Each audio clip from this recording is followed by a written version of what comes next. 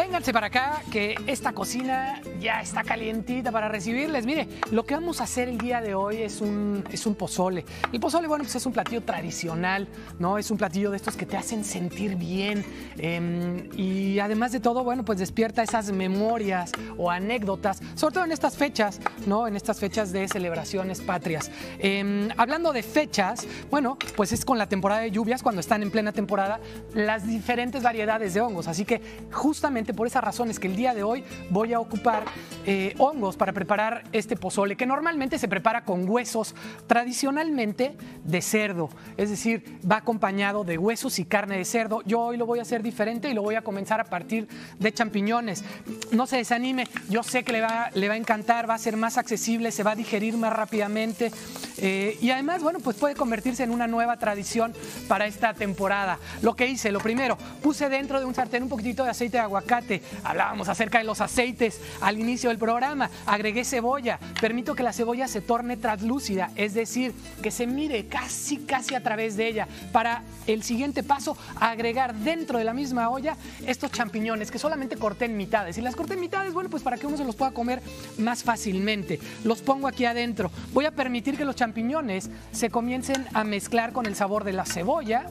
Y para subir su sabor, lo que yo voy a hacer es que les voy a agregar un poco de orégano. Viene para adentro el orégano. El tipo de orégano que estoy utilizando es orégano seco en esta ocasión. Si tiene hojitas de orégano frescas, hombre, pues qué mejor. Pero entiendo que luego se puede convertir en algo complicado. Ahora me voy a ir con el siguiente paso. Miren, lo que tengo acá, que lo voy a mover justamente para la tabla, se trata de chiles. Chiles secos que les voy a mostrar en este segundo. Déjenme nada más ir poniendo eh, menos elementos ahí para poderle mostrar. El tipo de chiles que tengo acá, mire, se trata de un poco de chile pasilla, un poco de chile ancho. Los puse primero los tosté y después los hidraté. Ahí se los muestro. Les agregué un poquitito de cebolla y lo que vamos a hacer con esto es que los vamos a moler, sí, los vamos a llevar directo y sin escalas hasta la licuadora para obtener una salsa que va a ser el complemento para nuestro pozole, porque vamos a convertir a este pozole en un pozole rojo. Oye, cuéntame, ¿cómo que pozole rojo? Sí, sí, sí, hay diferentes tipos de pozole dependiendo de las regiones, de, en el caso nuestro, eh, dependiendo de, la de las regiones de México. Hay pozole verde, hay pozole blanco, hay pozole rojo, hay pozole hecho a base de productos del mar y hay pozole, como en este caso, que se prepara justamente con vegetales. No lo voy a moler, si quieren, muévanse de ahí. Lo que tengo o lo que vamos a obtener es una salsa justo como esta. ¿Ok? Siguiente paso va a ser muy simple. Eh, los champiñones, pues comienzan a soltar un poquitito sus líquidos, sus jugos. Para mm, apresurar ese proceso, lo que yo hago es que le agrego un poco de sal. Ahí está el tipo de sal que ocupo, es flor de sal, que la flor de sal es la nata que queda hasta arriba cuando se van evaporando los líquidos. Y eh, se queda hasta arriba porque pesa menos, tiene menos minerales, así que contiene menos sodio. Lo que hago ahora es que le agrego caldo de vegetales, porque hoy estoy cocinando con vegetales, viene para adentro. ¡Uh, la, la! Ahí está. Último paso, si lo quiere convertir en rojo, mire, véngase para acá. Esto es lo que sucede. Ah, no, último paso, no.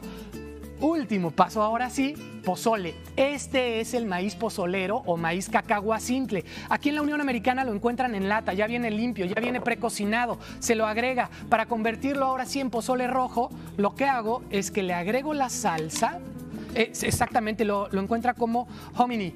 Eh, así es como lo encuentran en los autoservicios. Lo voy a servir.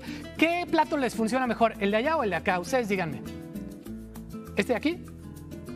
No los oigo, pero bueno. Ok, lo pongo entonces aquí. Lo sirvo y miren nada más qué poesía es esto. Es un plato súper, súper completo.